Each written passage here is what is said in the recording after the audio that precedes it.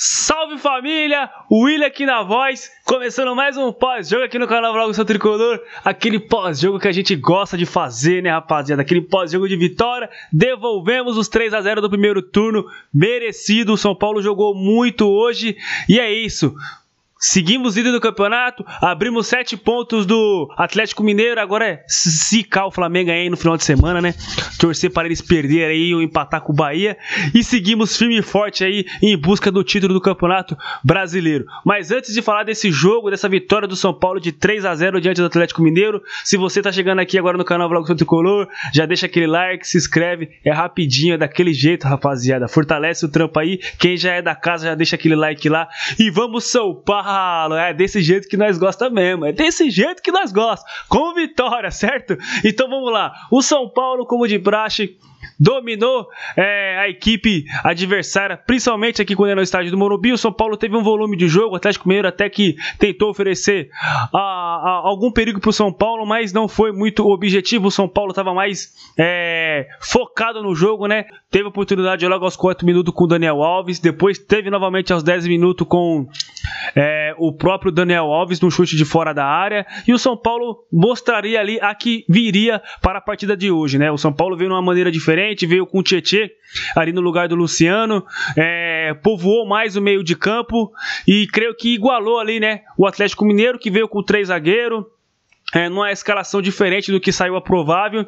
E o Atlético Mineiro não conseguiu jogar praticamente ali no primeiro tempo. Né? O São Paulo é, fez um, um, um, primeiro tempo, podemos dizer, primordial ali para conseguir a vitória. É, depois dessas duas possibilidades do, do Daniel Alves ali em abrir o placar, teve outra que foi na sequência, né? O chute cruzado do Brenner com o Everson é, rebateu. Na sequência ali o Reinaldo acabou pegando driblou ali e bateu. E mas não conseguiu é, é, fazer o, o gol. Mas continuamos em cima e logo aos 24 minutos do primeiro tempo o Igor Gomes acertou um belo chute e abriu o placar pro São Paulo abrindo, abrindo um caminho da vitória aí. Importantíssima vitória para nós seguimos firme aí no Campeonato Brasileiro né? Porque eu tava preocupado sinceramente se o São Paulo empatasse ou perdesse eu ia ficar preocupado com a sequência né, mano? Agora ganhamos e vamos seguir firme e forte aí em busca do título. É, depois que o São Paulo é, abriu o placar, o Atlético Mineiro teria que, né, que sair pro jogo, tentou é, algumas jogadas, mas sem muito perigo, sem muito problema pro Volpe. No finalzinho do primeiro tempo ali, Daniel Alves teve outra oportunidade de fazer o seu golzinho hoje. Ele que tentou ali no, no, no começo do jogo. E aos 42 minutos do, do primeiro tempo, né?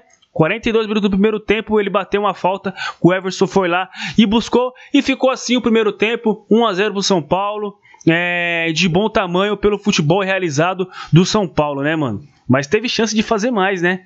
Teve chance de fazer mais. O São Paulo estava muito bem ali. Tietchan participativo, Luan muito bem. Daniel Alves aparecendo hoje. É, Brenner também. Reinaldo. Todo mundo, mano, num todo, participou ali é, do futebol bem jogado do São Paulo no primeiro tempo. No segundo, o Atlético veio com alteração, o São Paulo resolveu mexer, né? Porque, como tá atrás do placar, ele teria que mexer para tentar buscar o um empate ou a vitória.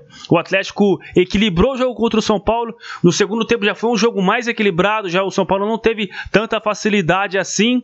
É, mas mesmo assim, é, foi mais competente e acabou fazendo o 2 a 0 com o Gabriel Sara. Depois de uma trocação de passe do São Paulo, o Vitor Bueno achou o Gabriel Sara ali de centroavante aí, fez a função do Luciano e empurrou pro gol, fazendo 2 a 0 dando aquela tranquilizada na torcida e encaminhando a vitória pro São Paulo aí. Que porra.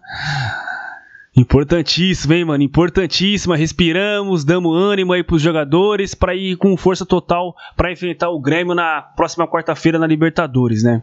E para finalizar, aos 45 minutos do segundo tempo, o Toró, né? Já tava caindo uma chuva daquele jeito, né? Aí entrou o Toró para sacramentar, fechar o caixão do Galo e trazer os três pontos para o Morumbi, 3 a 0 daquele jeito, importantíssimo aí para nós seguir firme é, em busca do título, né, mano? O São Paulo acabou colocando o Vitor Bueno, que participou no gol do, do Gabriel Sara com assistência, é, o Hernanes entrou, o Pablo entrou, é... E o Toró também entrou. É isso, né, rapaziada? Importantíssimo.